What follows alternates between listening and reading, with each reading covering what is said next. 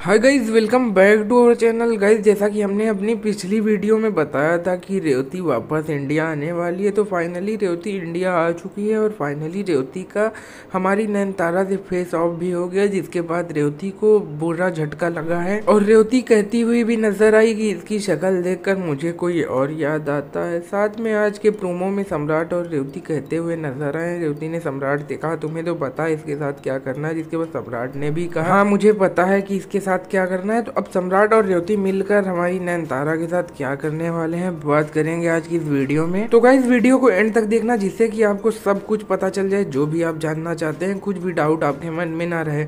और इस चैनल को ऐसे ही ये चाहते कि वीडियो पाने के लिए सब्सक्राइब भी कर लेना, क्योंकि तुम्हारा भाई हर रोज ये चाहते कि ऐसी ही एक्सक्लूसिव जानकारियाँ लेकर आता रहता है। चलिए अब बात कर लेते हैं कि सम्राट नैन तारा के साथ क्या करने वाला है। तो गाइस सम्राट नैन तारा को आने वाले एपिसोड में टॉर्चर करने का ट्राई करने वाला है लेकिन सम्राट जो नैनतारा को खुलकर टॉर्चर नहीं करेगा।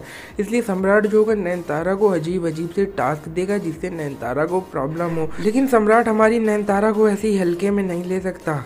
क्योंकि नैन तारा को कोई भी प्रॉब्लम नहीं होने वाली है। जिसके बाद सम्राट जब देखेगा कि नैन तारा को कुछ भी प्रॉब्लम नहीं हो रही है तो सम्राट उल्टा खुद टॉर्चर हो जाएगा। साथ में गाइज़ आने वाले एपिसोड में सम्राट नैन तारा को कुछ धमकी वमकी भी देते हुए नज़र आ सकता है, लेकिन हम आपको बता देते हैं, वैसा सम्राट कुछ कर नहीं पाएगा। और अब गाइज़ जैसा की आपको पता है, शादी हो गई है तो आने वाले एपिसोड में सम्राट और नैन तारा के आप सभी को नोक झोंक वाले सीन्स भी देखने को मिला करेंगे। तो गाइज़ यही कुछ होने वाला है। होप कि आपको ये वीडियो पसंद आई होगी।